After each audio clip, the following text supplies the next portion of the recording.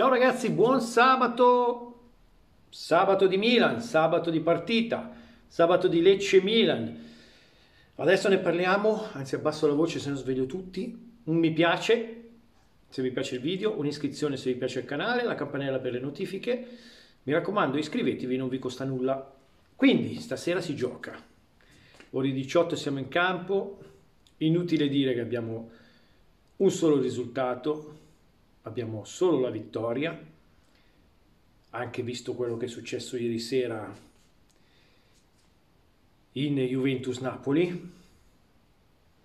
Dobbiamo vincere, dobbiamo portare a casa i tre punti, dobbiamo assolutamente vincere. Come lo faremo? Lo faremo con uh, Orighi e Chiari in panchina, con la sostituzione di Tonali probabilmente con Branks. Quindi la formazione che scenderà in campo questa sera dovrebbe essere Tatarusano, Calabria, Calulu, Tomori, Teo, Benasser, Branks, Messias a destra, Diaz, Leao e Giroud. Questa dovrebbe essere la formazione che scende in campo.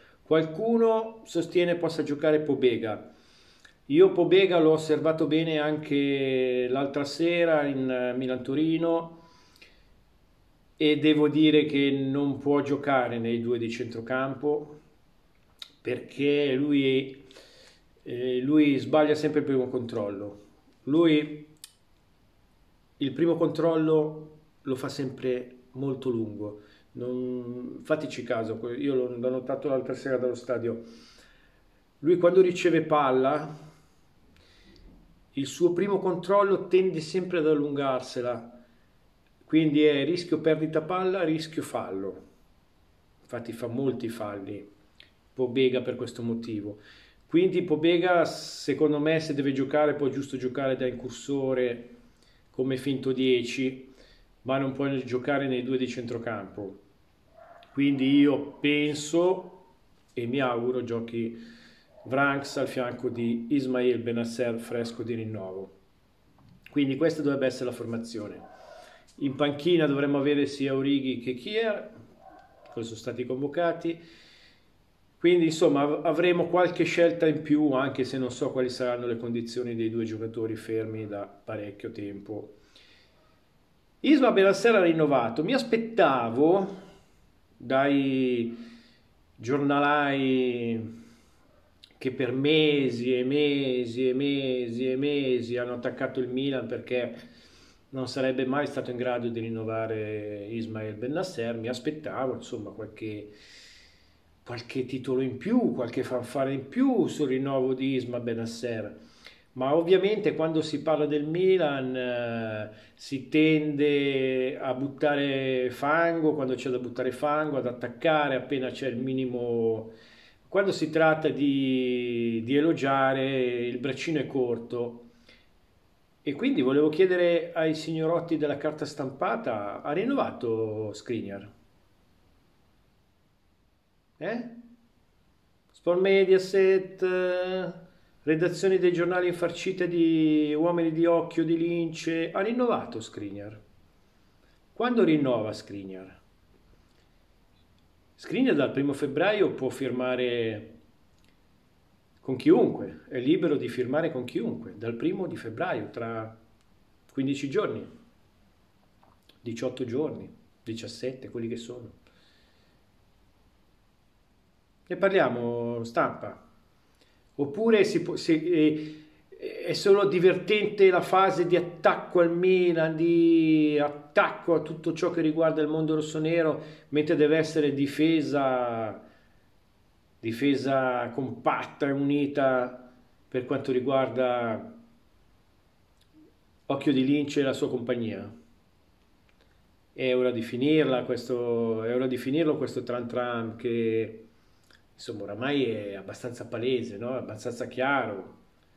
Cioè, non è che si può sempre attaccare da una parte e sempre difendere dall'altra, e poi girano anche a noi, eh? perché noi saremmo usciti col Torino giocando una partita insufficiente, diciamo, insufficiente, ma siamo un po' usciti col Torino. Gli uomini di occhio di lince sono passati col Parma, col Parma, sappiamo come, ma non ho visto critiche, non ho visto critiche a Inzaghi, Inzaghi sopravvalutato, non sopravvalutato, bravo o sopravvalutato, non ho visto critiche a Inzaghi, non ho visto critiche alle seconde linee nerassurde, non le ho viste queste critiche. Bello criticare solo il Milan, eh? Bello leccare i piedi a occhio di lince, vero? Comunque, noi vi aspettiamo sempre al varco. L'importante è che stasera i ragazzi giochino con la rabbia giusta, con la cattiveria giusta, con la compattezza giusta. Sogno di finire una partita anche 1-0, ma senza subire gol. Anche 1-0, mi, mi, mi basta 1-0. Voglio, soffro fino all'ultimo, ma cerchi, cerchiamo per favore di invertire questa tendenza di prendere sempre gol. Cerchiamo di evitarla. Se non prenderemo gol, Sarà quasi matematico, quasi, perché ho ancora Cremonese nella, Cremone Cremonese nella testa. Se non prenderemo gol, il 90%, 99% la vinciamo, ma non bisogna prendere gol. Quindi attenzione, determinazione, il campo a Lecce è brutto, è grosso e questo potrebbe favorire aprire dei, degli spazi per, per le AO, però è brutto, quindi eh, loro la metteranno sul piano agonistico e mh, mm, cercheranno di metterla sul piano più congeniale a loro. Noi dovremo avere pazienza, ma molta determinazione, colpire quando c'è da colpire, perché non si può fare 36 tiri in porta col Torino e non riuscire a fare un gol. Cioè è inammissibile, è veramente inammissibile. Su questo ha ragione Mr. Pioli, l'ha sottolineato in conferenza stampa ieri, non si può fare 36 tiri in porta e non fare un gol su. Quindi cerchiamo di avere anche, per segnare bisogna avere cattiveria. Il gol è un qualcosa che va, va cercato, va chiamato, va... Inzaghi, chiunque della mia generazione ha visto giocare Pippo, l'Inzaghi giusto, non l'Inzaghi sbagliato, l'Inzaghi giusto, lo sa che non era un fenomeno, che tecnicamente non era eccelso, ma lui bramava per il gol.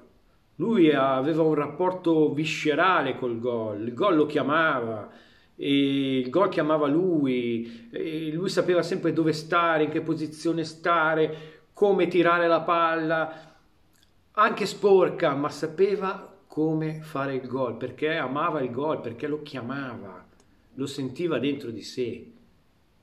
Giroud un po' ce l'ha questo, Leao no, Leao no, ne abbiamo parlato ieri, Leao non ce l'ha questo.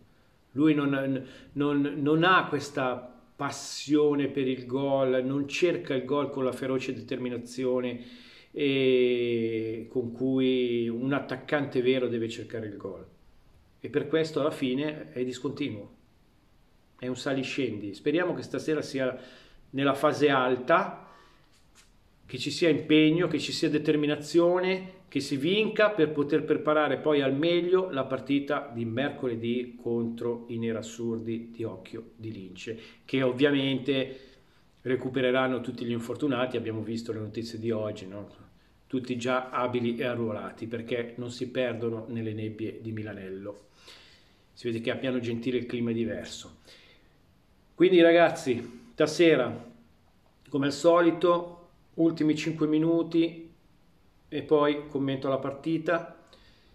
Mi raccomando, tutti stretti intorno alla squadra, tutti vicini alla squadra, forza Milan, forza lotta, vincerai, non ti lasceremo mai. Buona giornata ragazzi, buon sabato, in attesa del grande Milan. Ciao ragazzi.